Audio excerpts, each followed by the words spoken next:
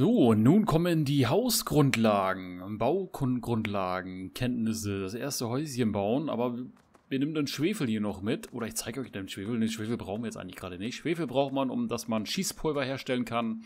Kommt in den Ofen rein. Ach, ich kann es ja eigentlich mal mitnehmen, ne?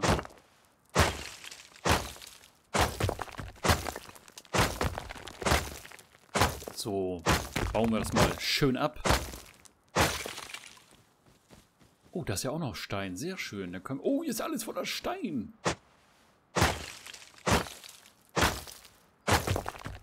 Das ist sehr gut für die De Demonstration.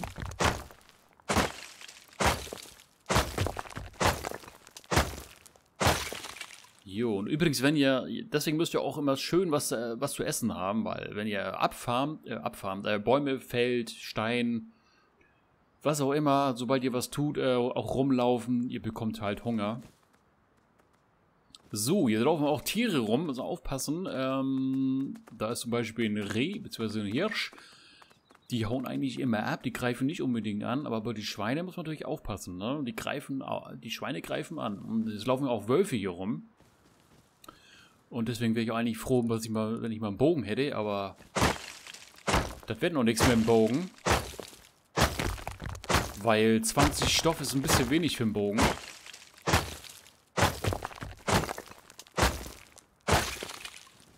So, guck mal, hier habt ihr schon ein bisschen Stein, ne? 3000 Stein. Ich könnte eigentlich den auch nochmal mitnehmen da. Und dann fangen wir gleich an zu bauen.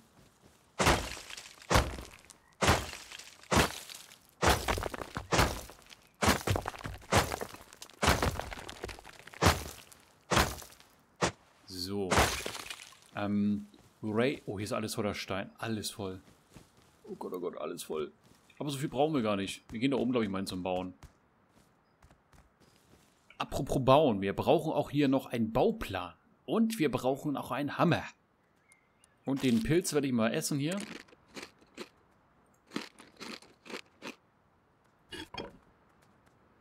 So, ist das jetzt ein Schweinchen oder ist es wieder das Reh? Guck mal, wir haben hier wieder Stoff bzw. Hanf. Da bekommen wir Stoff draus. So, das noch mehr. Sehr schön. Haben wir jetzt schon genug für den Bogen? Wir brauchen, glaube ich, noch einmal und dann können wir zum Bogenkräften. Da haben wir den Bogen. Jagdbogen. Weil für den Bogen Was brauchen wir denn für den Bogen? Wir können auch einen, einen besseren Bogen craften. Wir können Carbon-Bogen craften. Dann sind die Materialien. 100 mal Holz, 25 Metallfragmente, 2 mal Seil. Und hier haben wir rechts noch ein paar Stats. Ne? Der Schaden ist 100, Genauigkeit, da steht 0. Okay. Rückstoß 9,0, äh, äh, Feuerrate 60, Reichweite 60. Was hat der normale Bogen? Okay, der normale Bogen hat natürlich viel weniger. Ne? Da 50 plus 50 Schaden, Genauigkeit 2, äh, Rückstoß ist 9,0. Feuerrate 60 und Reichweite äh, 15. Ja, aber der, der, braucht natürlich mehr, ne? Also der normale Bogen hier braucht, okay, der braucht natürlich, also der braucht mehr Holz, aber braucht nur Stoff. Und der verbesserte Komponbogen braucht nur, ähm, also braucht auch 100 Holz und aber dafür 25 mal, äh, ja, Metallfragmente und zwei Seile. Die man dann auch durch Fässer und so bekommen kann. So, Inventar. Ähm, übrigens, wir haben ja eine Made bekommen. Mit der Made, die können wir auch essen. Und wir können damit angeln gehen. Ja. Ähm, ich bin gerade voll, ich gerade mal die Samen wegschmeißen und äh, das können wir, das können wir auch äh, brennen, leere Thunfischdose, aber ich habe ja schon ein bisschen Metallerz, dann brauche ich diese Dose nicht. Wenn man jetzt kein Metallerz gehabt hätte, hätte man doch schon, also die Dose dann nehmen können zum, zum Brennen. Okay, ähm, das andere haben wir alles. Bauplan. Ich muss gucken, wo ist die Sonne? Okay, es wird nämlich bald schummerig wegen, wegen Bauen. Können wir hier nicht bauen? Nee. Da können wir nicht bauen. Doch jetzt ja. Hier nicht. Man muss nämlich gucken, wo die Monumente sind. Kann man ja nicht bauen. Weil ab und zu äh, könnte auch sein, dass in der Höhle in der Nähe ist und dann wird es halt rot angezeigt, dann kann man nicht bauen so hier gerade wieder eben, ne? Zu nah dran, da wird es rot angezeigt. Oder es halt zu verwinkelt, dann kann man auch nicht bauen. So, wo gehen wir am besten hin? Ich suche mir ja eigentlich, man kann auch in die Berge reinbauen und sowas, aber das ist nichts für mich, also... Ich will schon... Habe ich den Bogen jetzt schon gecraftet? Nein, natürlich nicht. So, Bogen craften und hier äh, ein paar Pfeile. So. Nicht zu viel, weil wir brauchen ja noch Ressourcen für unser Häuschen. Eigentlich ist das hier oben ganz nett hier, ne? Dass wir hier einfach mal bauen. Ja, man kann... Also ich mache einfach... Ich baue einfach mal eine normale Butze, wo ich eigentlich immer mit anfange. Ähm, mal vier mache ich das, ne? Einfach nur mal vier. Da könnt ihr ausprobieren, wie ihr wollt. Ne? Also da gibt es ja keine Grenzen. Ne? Ähm, ja, da haben wir hier halt die ersten Foundations gesetzt. Wie gesagt, kann man hier auswählen. Man kann ja einiges auswählen. Äh, guckt ein bisschen selber durch. Wir haben mit Dach, Dreieck, man kann auch normales Dach, aber das ist halt, wenn du auf dem PvP-Server spielst, halt überhaupt nicht raid-sicher, ne? Ja, das normale Fundament, was ich gerade eben gesetzt habe. Dreieckiges Fundament kann man dann auch noch setzen könnte ich zum Beispiel auch mal als ähm, Schleuse, zeige ich euch das dann gleich mal, wegen so eine Schleuse. Man spart natürlich auch dadurch Ressourcen, ist ja natürlich auch klar. Boden, dreieckiger Boden, Bodenrahmen, haben wir hier dreieckiger Bodenrahmen, Wand, Eingang zum Beispiel brauchen wir natürlich. Ersten Eingang mache ich mal hier hin und um doppelten Schutz, sozusagen Schutz zu haben, äh, mache ich dann noch einen zweiten Eingang hin. dann würde ich nämlich hier da eine Wand hin machen. Und hier auch. So. Und was ich noch zeigen kann, hier unten ist natürlich offen. Ne? Hier unten ist offen. Das bleibt aber nicht so. Sobald wir das nämlich upgraden. Äh, man kann natürlich auch aus Holz upgraden. Sagen wir, du hast am Anfang nicht genug Stein. Kannst du erstmal nur aus Holz, äh, kannst du aus Holz upgraden und später kannst du dann halt also aus Holz kannst du das dann bauen. Also aus Holz steht ja auch dazu Holz aufwerten und dann kannst du später noch upgraden auf Stein. Aber da ich jetzt genug Stein habe, mache ich jetzt direkt, ähm, benutze ich direkt Stein. So, und jetzt ist das nämlich auch hier komplett zu, ne, wo es eben offen war, ne? Würde denn hier auch jetzt hier, wo es offen ist, aus Stein, komplett zu, ne? So.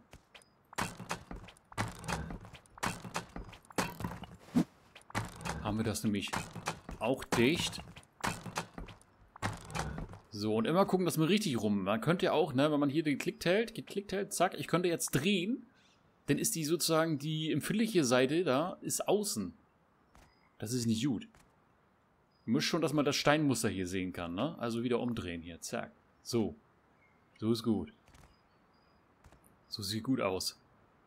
Also, der Anfang jedenfalls. So, und dann kann man hier noch auch noch upgraden. Oh, guck mal, da fehlt der Stein. Zum Beispiel, jetzt habe ich keinen Stein mehr. Zack, dann mache ich das eben aus Holz. So, und hier kommt dann einfach nur eine stinknormale Treppe, äh, eine Decke rein. Man kann auch mit Treppe, wie habe ich euch ja gerade gezeigt, man kann ja alles mögliche hier bauen. Da könnt ihr ausprobieren, ne? Ja. Könnt ihr rumspielen, wie ihr wollt. So, und da ich halt, ja, keinen Stein mehr habe, nicht genug, gibt es ein Upgrade auf Holz. Und ich muss auch mit den Türen anfangen zum Beispiel. Zwei Türen. Mm, und hier haben wir ein Schloss. Auch zweimal Schlösser. Wenn man die Schlösser platziert, dann werden automatisch auch die Türen werden abgeschlossen.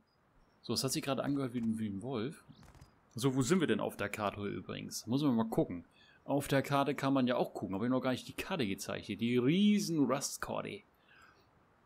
Oh, hier unten sind wir.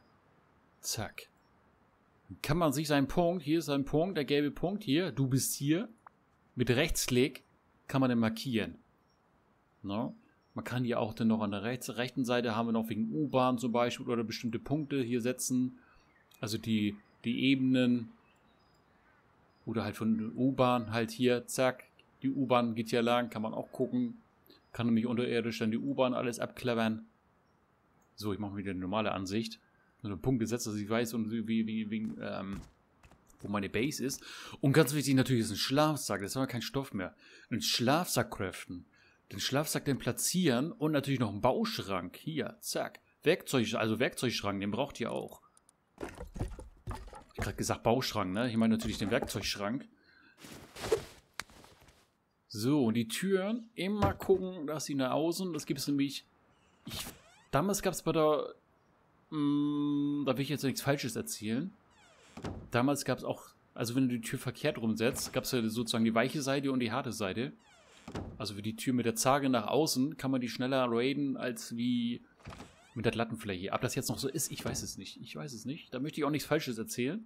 Vielleicht wissen die anderen Profis ja. Vielleicht können die anderen Rust-Profis ja was dazu schreiben. Im Kommentarbereich. So, und jetzt habe ich sozusagen eine Schleuse drin. Zack, mache ein Schloss ran. Zack, mache hier auch ein Schloss ran. Das Schloss ist automatisch abgeschlossen. Man kann auch an das Schloss äh, rangehen und dann kann man hier klopfen. Zum Beispiel eine Tür. Toll, ist auch ein, ein interessantes Feature. Ja, ich könnte jetzt aufschließen, denn ist der Punkt natürlich grün. Oder ich mache ähm, abschließen. Ja. Habt ihr jetzt einen Mitspieler, der braucht glaube ich einen Schlüssel. Ich meine, ja, der braucht einen Schlüssel. Spielt ihr alleine, braucht, äh, ja, reichen auch die Standardschlösser. Sonst könnt ihr auch einen Codelog. Jetzt könnt ihr euch auch einen Codelog craften. Codelog. Da ist das Codelog. Ist dann natürlich einfacher. Braucht ihr aber 100 mal Metallfragmente. Die muss man dann erstmal durch den Ofen einbrennen. So, bevor die Base komplett zerfällt, muss ich natürlich noch einen Werkzeugschrank platzieren. Und da muss dann Stein, ihr seht es ja hier, da muss Stein rein und Holz rein. Da wird euch die Zeit angezeigt. Hier geschützt für 0 Tage, also 12 Stunden nur. Material, was gerade drin ist. Weil wenn die Zeit abgelaufen ist nach 12 Stunden, 12,5 Stunden, dann fällt die Basis auseinander. Da gibt es auch einige Server, die haben das abgeschaltet. Da muss man gucken, das nennt sich DK.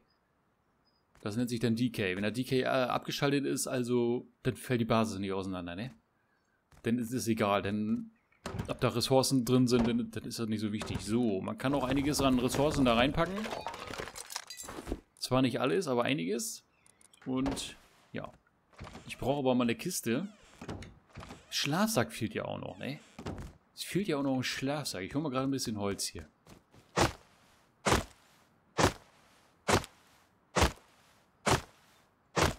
So, dann nochmal eine Kiste craften. Und ich habe wieder eine Made bekommen, ne? Weil ich ja mal Holz rumklopp, gibt es wieder eine Made. Also falls ihr echt mal knapp dran seid mit Essen, esst leckere Maden. Schön Eiweiß drin. Wir können eigentlich meine essen, na guck mal. Okay. Wollte er nicht haben, hat er sich übergeben. Es gibt auch Bären, ja. Man kann auch im Wald rumlaufen, gucken, es gibt Bären, die kann man auch sammeln. Sind ja keine. Oh, wenn man von Teufel spricht. Blaue Bären. Sehr schön. Ich höre doch schon wieder den Wolf. Müssen wir uns mal den Bogen ausrüsten hier. So. Bogen in die Hand. Rechte Maustaste gedrückt halten. Da hat er nämlich den Pfeil gespannt. Da ist der Wolf. Ah, den möchte ich jetzt nicht, weil ich habe keine Rüstung.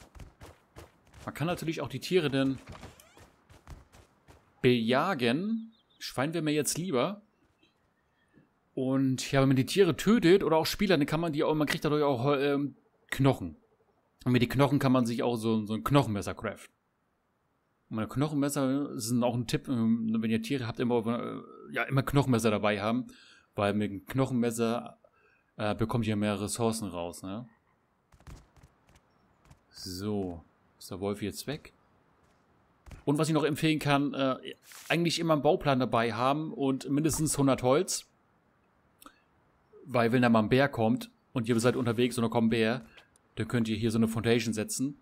Und wenn ihr eine Foundation gesetzt habt und, ne, als Beispiel geht hier rauf, wenn ihr dann raufkommt, und da kommt der Bär. Der Bär kann euch nicht angreifen und dann könnt ihr von dieser Position ähm, dann, egal wer, also ob, ob Wolf und Bär, könnt ihr den halt in Ruhe erledigen. Guck mal, hier so viel Schwefel brauche ich zwar nicht, aber naja. So. Okay, ja, das müssen wir natürlich noch upgraden. Man sieht ja den Unterschied, ne? Holz und Stein, das muss dann noch upgradet werden. Ich brauche noch einen Schlafsack. Guck mal, ein Wurm. Keine Ahnung, wo der herkommt. Ach, die Kisten müssen wir auch noch platzieren. Darf ich vergessen. Hier ist mindestens noch ein Spieler drauf. Der eine Spieler könnte jetzt in der Nähe sein und er könnte mich töten und dann könnte er mein ganzen Loot hier und meine Base und alles übernehmen. Guck mal, ich habe jetzt kein Holz mehr. Das habe ich ja alles hier drin, ne? Das reicht auch gar nicht. Reicht das noch für das Dach hier? Ja. So, der Rest kommt wieder rein. Das könnte man blaue Samen, das könnte man jetzt anpflanzen. Lasse ich aber mal. Hm. So, das könnt ihr dann selber ausprobieren. Die Kiste. Übrigens noch ein Tipp. Mit der Taste R könnt ihr Kisten bzw. Items drehen. Guck mal, ist das nicht schön? Auch Platz zu sparen, ne? So. Wurm, Fernglas, Trinken, das kommt da rein. Hammer kommt auch erstmal da rein. Bauplan, wie gesagt, behalten. Ähm, ja, Pfeile. Ich habe zu wenig Pfeile. Ich könnte eigentlich... Zwei mehr. So, das sind so die ja, Anfänge, Anfänger, Starter, Grundlagen. Ich mal gucken, ob ich noch, noch ein Video mache. Vielleicht für den Ofen. Wollt ihr noch mehr sehen? Dann mache ich noch mal ein Video von ja, ein Ofen. Ich bräuchte, ein kleiner Tipp noch, wenn ihr, wenn ihr einen Schlafsack habt, äh, könnte ich jetzt, also ich könnte mich selber killen. Ähm, und man kann hier Selbstmord machen. Oder es gibt noch einen Tipp hier in die Konsole mit F1 in die Konsole und einfach einen Kill eingeben. Mache ich jetzt nicht, dann bin ich tot. Also Kill erstmal eingeben und dann natürlich mit Enter bestätigen und dann stirbt man auch. Und dann, ja, wenn man jetzt ähm, wegen, äh, man braucht Fett, man braucht Fett. Ähm, wegen äh, Kraftstoff, um an Kraftstoff zu kommen, braucht man Fett. Hm, ja, dann könnte man halt sich selber töten. Aber, aber beim ersten Mal gibt es noch ordentlich ein bisschen Fett, aber beim zweiten, dritten Mal, ja, also oft gibt es, das wird halt weniger mit der Zeit. So, der Wolf, der interessiert mich doch gerade ein bisschen. Der hier so rum... Ich brauche nämlich... Kann auch sein, dass er hier ein bisschen reinbackt. Ist gerade nicht da, ne? Übrigens, es gibt auch Airdrop, da kommt er gerade. Airdrop. Müsst ihr gucken, wenn einer von so einem Flieger kommt, es könnte sein, dass er ein Airdrop, dann, dann schmeißt er einen Airdrop runter. Eine große, eine riesen Kiste, da kann alles mögliche drin sein. Alles mögliche. Natürlich äh, schön wäre es mit, mit Waffen, ne? Und ja, wenn du natürlich einen vollen Server hast und ja, da kommen die Spieler und ja, dann bei einem Airdrop, da ist richtig Action, ne? Da ist richtig Action. So, ich glaube, ich werde diese Folge aber erstmal beenden. Und dann machen wir in der nächsten Folge weiter. Ich gucke nochmal. Oh. Er ist gar nicht so weit weg. Ich werde die Folge beenden dann werde ich mal zum Airdrop laufen. Ähm, ich hoffe, es bleibt noch hell. Ich laufe mal zum Airdrop. Das ist nicht so weit weg. Also ich würde sagen, bis zur nächsten Folge. Bis dann. Tschüss und bleibt gesund.